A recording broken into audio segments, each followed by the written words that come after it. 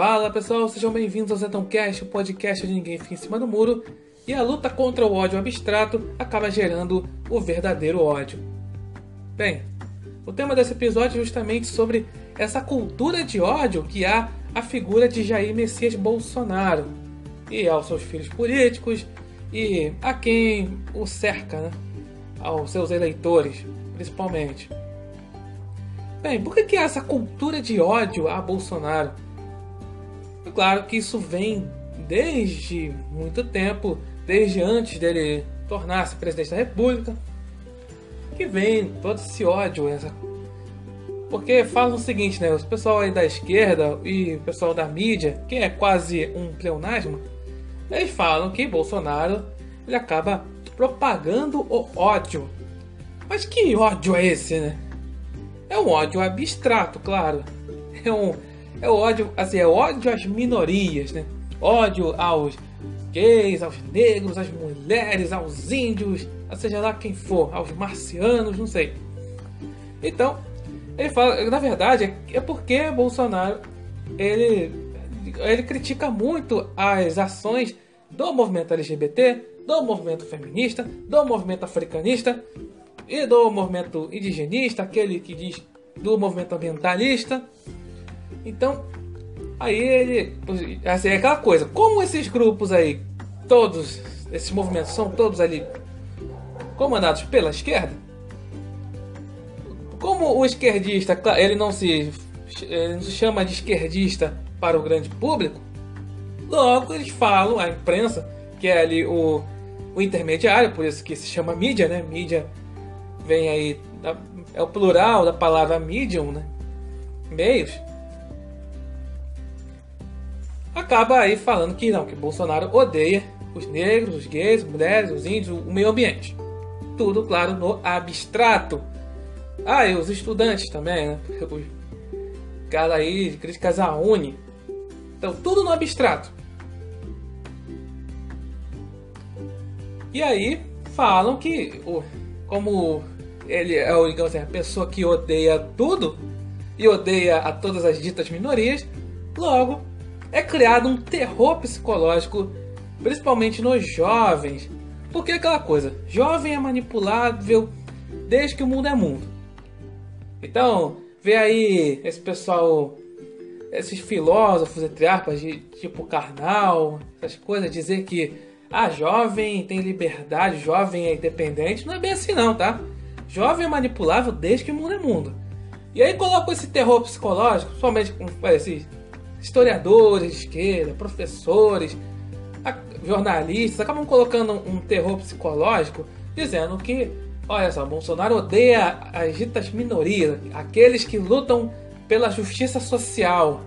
Logo, assim como ele é o, digamos, o cara que prega o ódio, você aí tem que odiá-lo. É por isso, é esse, digamos, esse paradoxo, né? Assim, é aquela coisa do o ódio, digamos, gera ódio. Então por isso que essa coisa desse ódio abstrato, isso foi, digamos assim, um grande erro eleitoral uh, de campanha aí dos né, candidatos da esquerda ali na presidência da República. Ah, pregar esse tipo de coisa, né? Falar ah, o que ele odeia as mulheres, principalmente na campanha do PSDB, né? Fala essa coisa, ah, o eu odeio as mulheres, eu odeio as mulheres. É por isso que teve aquele movimento lá, ele não. É como se fosse assim, como Bolsonaro odeia as mulheres. Porque, é claro, o eleitorado do feminino é muito maior que o do masculino. E aí eles queriam fazer uma coisa para que as mulheres acabem se odiando o Bolsonaro, ah, já que ele não é contra as pautas do feminismo, do movimento feminista, logo ele odeia as mulheres em geral, todas as mulheres. E aí os partidos de esquerda, os, assim, era Bolsonaro e os outros, todos os partidos de esquerda, né? Acabaram focando muito nisso. Né? Ah, essa, esse, essa tal de misoginia de Bolsonaro, machismo dele. E isso foi um grande tiro no pé do, desse pessoal. Bem, outra coisa que o, esse pessoal acaba colocando aí um terror psicológico é aquela coisa que todo mundo já sabe que o Bolsonaro ele é o entusiasta do regime militar. Isso ele fala desde quando ele assumiu como deputado, ele sempre é, ele acaba sendo um entusiasta do regime militar. E o regime militar, ele é, digamos assim, o, o mito fundador da nova esquerda, da esquerda ali petista, tucano petista. Porque eles falam que foi uma ditadura terrível, que matou milhões, não sei o quê. E aí eles acham, o tanto aí os políticos, provavelmente assim na era tucano petista, né? O governo do FHC, Lula, Dilma, Temer, eles assim, os políticos eles foram, muitos ali foram guerrilheiros, muitos foram a, a dizendo, ficam falando aí que lutavam com é, lutavam contra a ditadura entre aspas e lutava pela democracia, quando na verdade eles lutavam para a ditadura do proletariado, a né, ditadura comunista. E como o Bolsonaro é um entusiasta da época, aí esse pessoal, principalmente da imprensa, a imprensa, como vai também, tem muita gente lá né, que foi guerrilheira, que foi é, líder estudantil na, na época, agora é são jornalistas renomados, renomados porque, é bem, estão aí na grande imprensa, ah, e também o pessoal aí da academia, o pessoal aí mais veterano da academia, que também eram né, líderes estudantis na época, ou até mesmo pegar, chegou a pegar em armas. Eles acham que Bolsonaro vai ser um ditador. Vai ser como os militares fizeram ali no caso ali perseguindo os guerrilheiros comunistas. Lembrando que os militares não fizeram absolutamente nada para combater o comunismo, mas só combater os guerrilheiros comunistas. São coisas diferentes. Mas naquela época, perdão, o pessoal aí da esquerda fala que os militares perseguiam comunistas. Na verdade, nem falam assim, que são comunistas, mas na verdade que eles suspeitavam, achavam que eram comunistas, entenderam? E aquela coisa, né? Eles, os esquerdistas sabem que comunismo é uma coisa negativa, então por isso que eles falam: ah, lutavam pela democracia, são progressistas. Progressista é um eufemismo para comunista. Então, aí coloca, mais uma vez, coloca todo esse terror psicológico na mente, principalmente dos jovens e daquelas pessoas que não têm muito assim, conhecimento. Fala que Bolsonaro é ele vai fazer a mesma coisa, vai ser um ditador.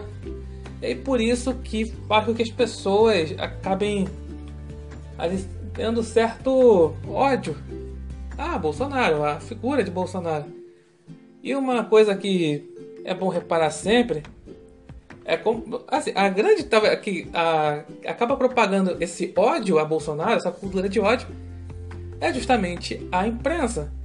Porque quando o Bolsonaro assumiu aí a presidência, a grande mídia, essa vem desde quando ele nem estava ainda candidato, mas sempre falava que não ia dar nenhum centavo aí para a imprensa, falando assim, um, a propagandas estatais, as coisas não iam dar para a grande imprensa. E aí, como na época lá dos governos petistas principalmente, eles recebiam grandes aí patrocínios estatais e hoje em dia não recebem, ou recebe ali um pouco, como é, menos, perdão, menos do que recebiam. Aí eles colocam todo esse ódio, acabam destilando todo o seu ódio ao nosso atual presidente. Além do fato, como falei, eram muitos ali são, são de esquerda, muitos chegaram a, a ser líderes estudantis na época do regime militar, chegaram até pegar em armas. E aí eles tiram todo o seu ódio a Bolsonaro. E repare uma coisa, como falei aqui, como ia falando, que sempre quando coloca uma foto de Bolsonaro, nunca é uma foto dele sorrindo, é sempre ele com uma cara séria, para dar aquela impressão de que, olha só, ele é uma pessoa que não é uma pessoa empática, uma pessoa simpática a vejam bem, sempre colocam com a cara assim de. Sempre com a cara fechada, sempre com a cara séria. enfim, para dar aquela impressão, para assustar o povo, para dar aquela má impressão do povo. Isso aconteceu muito antes dele virar presidente. Aliás, eles estão até hoje, esse pessoal da imprensa, eles estão até hoje, assim, querendo saber, eles estão ali estão totalmente zuretas com essa coisa de, cara, como é que como é que o Bolsonaro é, é o presidente agora? A gente fez de tudo para difamá-lo, fazendo toda essa cultura de ódio ao cara e o cara mesmo assim ganhou a eleição. É porque é o seguinte, né? É, tem a questão das redes sociais, por isso que eles odeiam tanto as redes sociais, falam que ah, quem defende Bolsonaro aí na. Aí. Atualmente no Twitter, nas redes sociais em geral, e que eles acabam contestando a opinião do jornalista, que é sempre a contrária a Bolsonaro, eles já chamam logo de milícia digital, e faz aquela coisa, faz lista negra, enfim, faz escarcel. Eles ficam até hoje eh, perguntando, querendo saber como é que a gente fez tudo pra difamar o cara o cara é eleito. Porque é o seguinte, falei nas redes sociais, redes sociais foram muito importantes. E ele disse que o, o, o Bolsonaro, ele é aquela pessoa do povão mesmo, não é um ídolo fabricado como foi o Lula. Porque esse pessoal mais isentão, ele fica falando muito, ah, olha só, chamam eu, chamam aí o Bolsonaro de mito, né? O pessoal chama aí de mito. É, falando aqui, abrindo parênteses, eu nunca, nunca gostei muito desse negócio, o Bolsonaro de mito, mas enfim. Aí o pessoal chama, assim, enfim. Mas enfim, aí ele fala assim, não, é mais mito, não sei o que, então. Aí ficam fazendo aí várias marabalismos para justificar essa coisa, toda essa popularidade de Bolsonaro, falando que é tudo coisa lá do. Existe um, um movimento nacional populista de direita, aí é liderado por Steve Bannon, aí por isso que o Trump ganhou nos Estados Unidos, por isso que lá na Hungria, na Polônia, são países que esses governantes são católicos e que não querem aí aí aquela coisa do que tem muitos países como França, Alemanha, Alemanha, Inglaterra, de liberar aí os refugiados islâmicos. E aí ficam falando que isso é coisa de populista de direita. E falam que é tudo ali um movimento internacional aí que chegou aqui no Brasil, que usam de fake news nas redes sociais, não sei o que, toda aquela palhaçada que eles ficam tentando fazer todo marabarismo para tentar explicar por que, que não deu certo a difamação no caso aqui no Brasil, a Bolsonaro. E aí, eles acham que isso tudo aí, como diria um certo jornalista que adora fazer profecias, isso tudo tem método. Tem método, essa coisa, essa popularidade de Bolsonaro, tudo ali tem método, não sei o que. E aí, tem gente, principalmente mais os esquerdistas mais exaltados, eles começam a falar que isso aí é a ascensão do fascismo ou do neonazismo. Porque a gente adora, assim, esses esquerdistas adoram comparar o, o Bolsonaro com a figura de Adolf Hitler. O que não tem nada a ver uma coisa com a outra. E esses são os motivos mais idiotas. Ou, por exemplo, ah, Bolsonaro falou mal de gay, a Hitler matou gay. Logo, não tem nada a ver uma coisa com a outra. E por que que escolhem a figura de Hitler? Porque, assim, primeira coisa que pensa qualquer... Você pensa assim, fala um ditador. A primeira pessoa que você vem à cabeça é Hitler. Logo, como Hitler é uma, uma figura execrável, e é mesmo, é um genocida, assim como Stalin, assim como Mao Tse Tung, assim como Fidel Castro e entre outros. Logo, é uma figura assim, negativa e, o, como falei, o pessoal da esquerda acaba fazendo esse terror psicológico na cabeça dos jovens. Quer fazendo essas comparações idiotas de que, ah não, tudo que Bolsonaro fizer é coisa de nazista, que não tem nada a ver coisa com a outra. Porque, por exemplo, a a questão de armamento. Bolsonaro quer, quer, quer liberar armas, né? quer liberar, é, eu falo assim, flexibilizar posse e porte de arma de fogo. Já os nazistas fizeram o contrário. acabaram controlando as armas. E isso foi um dos grandes motivos que acabou tendo aí o, né, o regime nazista. Esse controle aí de armas para o povo alemão não se defender. Mas enfim, é aquela coisa, né? O, quer colocar a figura de um ditador, coloca, já pensam logo em Hitler, aí fala que o Bolsonaro é um ditador, logo é como Hitler, não tem nada a ver uma coisa com a outra. E essa coisa, só essa coisa de. Ah, do. Ah, porque odeia gay, odeia negro, né? A, questão lá do, do, da raça ariana, dos nazistas, enfim, faz uma mistureba que infelizmente muita gente cai nesse discurso. É tudo uma questão de propaganda. E isso o esquerdista sabe fazer muito bem, essa questão de, de propaganda, essa questão de assassinato de reputação. E aí essa é a cultura de ódio a Jair Bolsonaro e a quem o cerca, né? Porque é uma coisa curiosa. É, fala aí que o cara é um ditador, mas assim, se você defende o cara, você é, acaba, muita gente acaba sendo expulsa aí de, da academia, da classe artística, por defender o defender o atual presidente. Além de aquela coisa, você sai de verde e amarelo na nas ruas ou sai com a bandeira do Brasil, você tá achado de fascista, coisa louca, né? Você tá defendendo as cores do Brasil, do país, você é acusado de bolsonarista de fascista, de nazista, tudo quanto é isto. Aliás, falando nisso, essa questão do nazismo, essa coisa de, ah, Bolsonaro é um, é um nazista. Tipo assim, o cara, ele fala do. Ele tem boas relações com o Estado de Israel, Estado judeu, né, maioria de judeus. E o cara é taxado de nazista.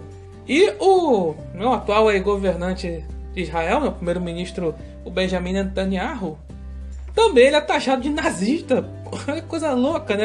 É, enfim. Mas é impressionante isso. É uma cultura de ódio, assim, impressionante. Isso os esquerdistas sabem fazer de melhor, né? Ou de pior.